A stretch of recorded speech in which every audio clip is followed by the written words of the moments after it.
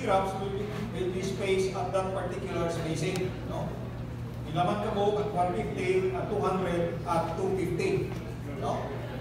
Kung saan man ang imo compute Now, kining kining 150 spacing, this is the spacing that we provide from the face of the support up to the 1 meter, no? To 1 meter. So you have 1 minus, the first stirrup will be placed at 50 mm from the base of the support. So you have here 1 meter minus 0.05 representing 50 mm, then divided by the spacing of 150. So you will get 7 at 150. Then next, you have 1.5 minus 1 divided by 200. You take 2.5, round off to 3 at 200. The next 2 minus 1.5 divided by spacing 250. But anyway, this is already 250 beyond. No? Ang mo lang tagaling rest at 250. So to describe the stirrup spacing, this is how we state it, no? So use 10 mm diameter use stirrups. So the first place at 50 mm from the base to support. Then followed by 7 is spaced at 150 mm on center. Followed by 3 3 stirrups? Is spaced at 200 mm center. Then beyond which the spacing will be constant, no? uh, 250 mm center to center line. So, uh, symmetrical na to, symmetrical na to. So from left to center line and from right to center line, the stirrup spacing will be symmetrical. Okay? Now, kana siya mo kasagaran may nabo, but what about if the loading is not symmetrical? You have a non-concentrated load which is close to one end, that will make the shear at that end higher compared to the other end. Pwede sa ka mo unsymmetrical na spacing. No? When sa left side, you have a closer spacing, and on the right side, a wider spacing.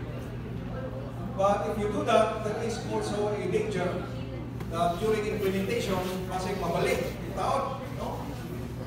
Hindi mo na engineer ang taon na na kung sila kabut, kasabot ng shear moment diagram. No? So, kung na kasagaran, no? in order to avoid that mistake, we just adopt the more stringent uh, spacing and make the spacing symmetrical.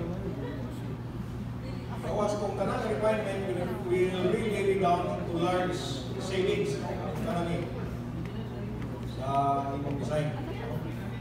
It has to be closely monitored in its implementation.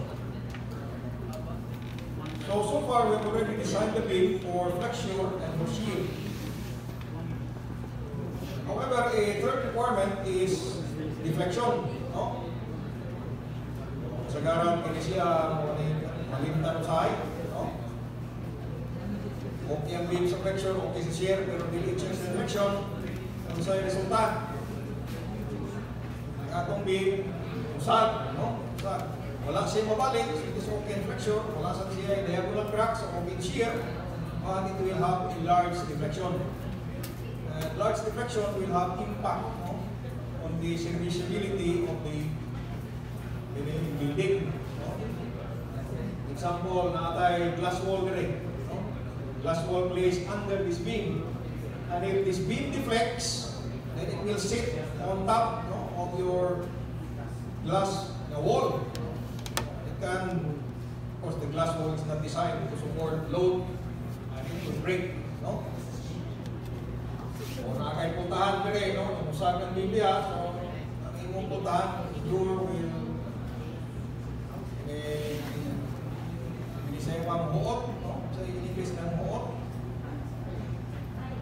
will huotize, no? It no longer open or close the door. Diba? So, on a deflection has to be controlled, no? It should be limited to tolerable amount. Kaya ka na deflection, we cannot avoid that, no? May mga sirohon ng reflection, kaya mo deflect mo gina sa gusto ni mong sarili, no? So we have to limit the deflection to a tolerable amount. So this is the calculation for checking the deflection. So allowable deflection due to live load, you notice that uh, due to live load, no? that is the kind of deflection that has more impact on non-structural elements. Kaya ka deflection due to dead load, once you remove the forms, naman na siya ang dead load deflection. Kaya una pa ka manaw ng glass ng partition, yung itong dead load deflection, nakasettle na siya. It will no longer have any impact on the non-structural mga partition walls. No? Ang light load, which is applied later, no? muna siya na impact. No? So, muna na allowable deflection due to light load. So, we have the, the Elmer 360, that is based on the code, no? to uh, prevent the plastered ceiling from cracking underneath. So, Elmer 360. But there are other more stringent requirements, no? For example, kung nakakaibutang niya sa ibabaw ng mga sensitive na mga equipment, ang iyang alignment kinanglan na gamay na tolerance pa, no? Yung alignment, it would go as high as over 80, no? Sometimes higher, like 600, no?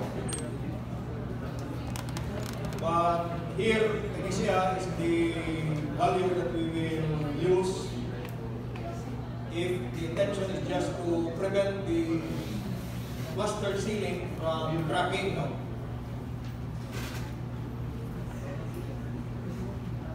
So sa atong deflection calculation, there are several things that we need to calculate. No?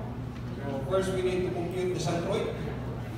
Uh, duhani ka tayo sa section na analyze, we have the uncracked section and the cracked section. No? So uncracked, ano siya, shadering. So we assume this to be all concrete. Then for the crack section, part concrete above the neutral axis and steel below the neutral axis. The concrete below the neutral axis for the crack section will have no effect. Okay? So atong kumplito na ang centroid. This is where you will apply what you have learned from engineering mechanics, no? Centroids of areas. Okay? So we apply the principle AY bar is equal to summation AY. Then after we locate the centroid, we complete the moment of inertia with respect to the centroidal axis of the uncracked section. So I think I don't have to explain in detail, no? So makompute kini moment of inertia. Kaya mga bright na mo, no?